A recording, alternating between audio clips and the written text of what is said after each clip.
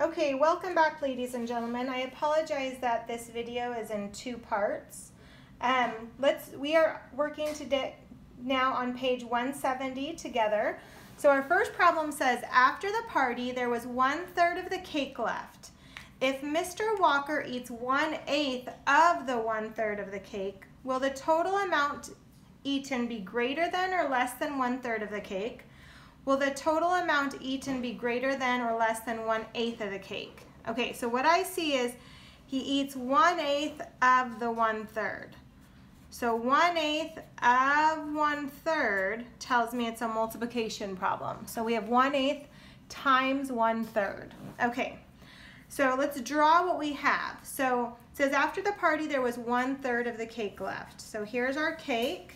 I'm gonna make a very long skinny cake and there was one third of the cake left. So this is how much cake there was left. One third. Okay, and it tells us Mr. Walker eats one eighth of this, which means we have to cut this into eighths. So let's cut this into eighths. So it's one, two, three, four, five, six, seven, eight. And he only eats one of those pieces. That's all he eats is that one piece. Okay, so the question asks us, will the total amount eaten, will what he, Mr. Walker eat be less than or one third of the cake? Well, definitely less than one third. And then it says, will the total amount eaten be greater than or less than one eighth? It was less than one eighth too. Okay, so if we wanted to know the real answer, we would have to divide each of these sections into eight pieces too. So let's divide each of those into eight sections.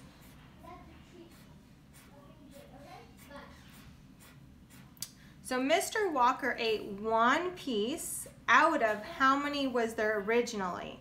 Well, this had eight, and then that middle section had eight, and this had eight. So eight, eight, and eight is 24. Okay, so look closely and see if you're starting to see a pattern here of how we're getting our answers. Okay, our next one says Milo has 5 eighths of a gallon of paint. If he uses 3 fourths of the 5 eighths of the gallon, will the total amount used be greater than or less than 3 fourths of a gallon?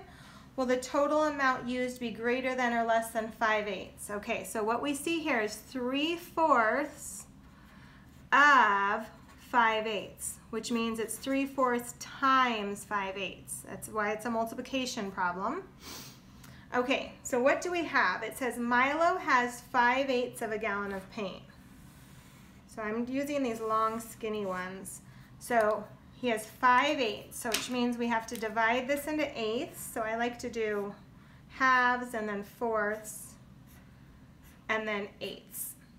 And he has 5 eighths. So he has one, two, three, four, and five. That's how much of the paint he has. Okay, but then it tells us he uses 3 fourths of the 5 eighths.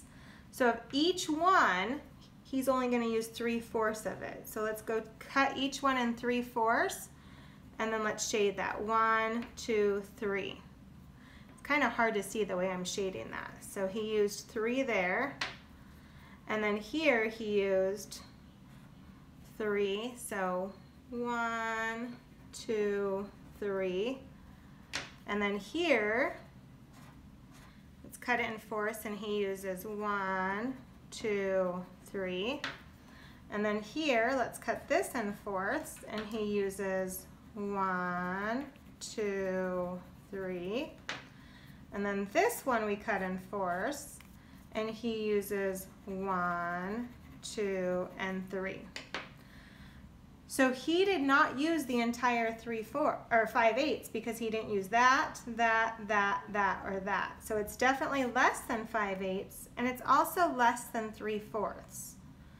So if we wanted to know how much he used, we'd have to continue cutting these pieces up into fourths too. So let's cut all those into four. So he used 3, 4, 5, 6, 7, 8, 9, 10, 11, 12, 13, 14, 15 out of how many total?